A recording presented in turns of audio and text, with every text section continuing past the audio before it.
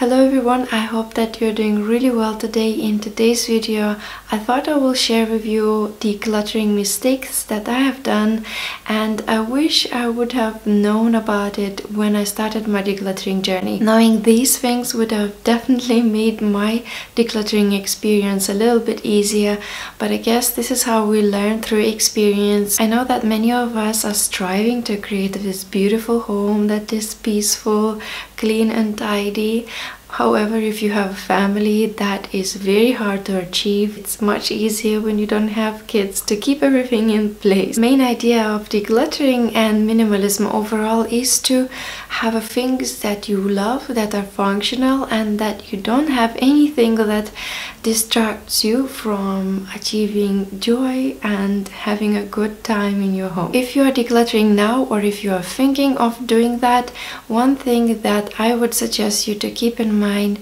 to get rid of stuff when you want it. Me personally, it took roughly two years to really start decluttering and getting rid of my stuff because what I was doing previously was just replacing my things from one place to another. I would be putting my things from most common use places into a storage thinking that I will be needing it later but I never actually did and it just stayed in storage for years. If you come across the item that you want to get rid of, don't put it back back where it belongs. Just put it into a separate box or bag, any designated area for donations and for getting rid of stuff. Because if you put it back, it tends to stay there for a really long time. This is what happens at the beginning. We are not very courageous in getting rid of a lot of stuff. And if you have items that you're not sure of, if you want to donate if you want to get rid of if you feel a little bit more sentimental just put it into a maybe box. Store it there put a date and just keep it for whatever time you think it's suitable for a month for six months for a year. This will be the time that you will know that that's it that's enough.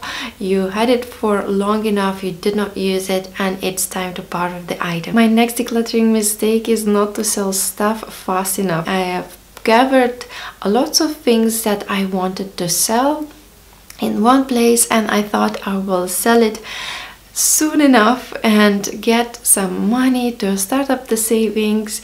But what happened was that I put up some items, it didn't sell, and then I relisted it on eBay. It didn't sell, and I kept on uh, clinging onto it, thinking that I will sell it one day. Maybe I'll go to a car boot sale and sell it there. So I think a good idea for us if we want to get rid of stuff this is the fundamental thing that we want to do is to get rid of stuff so if you feel that some of your items are worthy of selling give yourself a deadline let's say say okay within a month or within two if i don't sell it then it's just going to charity don't hold on to stuff thinking that it will sell one day because it's still cluttering your space and you are not doing the main thing that you wanted to do to declutter. My next tip derives from this tip.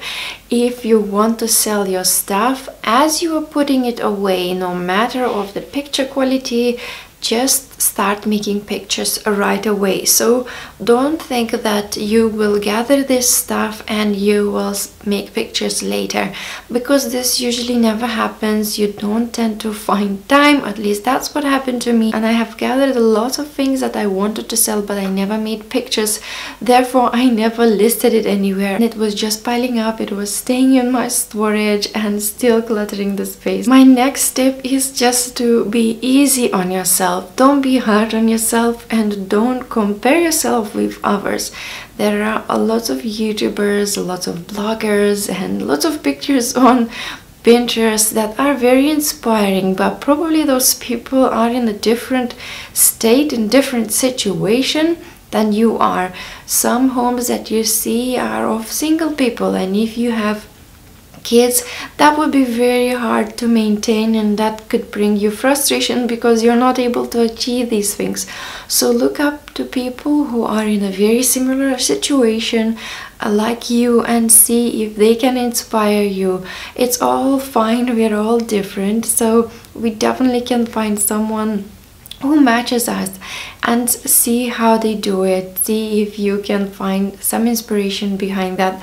But don't try to keep up with the joneses. Clear that clutter around you and be sure you're not alone in this decluttering game. There are lots of families a lot of individuals who are going through the same thing as you. My last tip for today if you want to avoid decluttering mistakes is not to spend too much money on organizational stuff.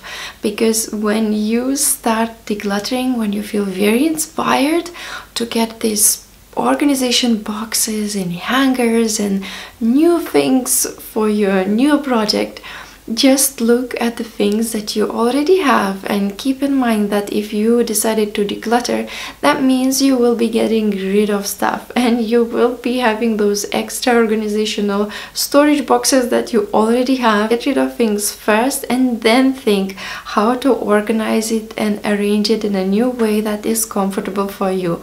I hope that these tips were useful for you that you will take away something. If you have any decluttering mistakes that you have done please share it with us. I would love to know. Keep in mind we are all in this together. I will see you in my next video soon. Bye bye for now